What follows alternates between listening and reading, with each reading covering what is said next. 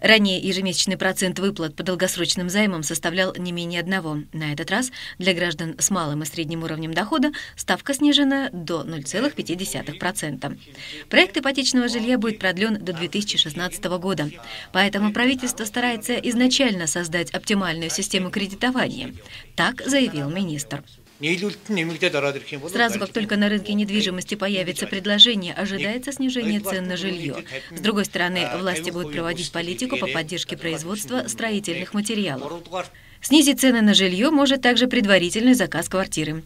Согласно этому условию, будущие жильцы могут определиться с квадратными метрами еще на стадии строительства.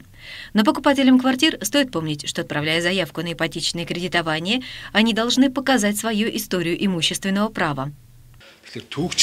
История имущественного права означает, что желающий получить ипотеку должен предъявить справку о том, какие имущественные операции в каком году им были проделаны. К примеру, когда был куплен дом или кем и когда подарен, унаследован. Эту справку можно получить из данных регистрации имущественного права. Однако еще одну справку надо будет получить уже из архива регистрации имущественного права. Документ архива должен подтвердить, что претендент на ипотеку никогда ранее не являлся владельцем недвижимости. Это обязательное условие ипотечного кредитования. Энхтовшин Нембаяр, Аист, Монголия.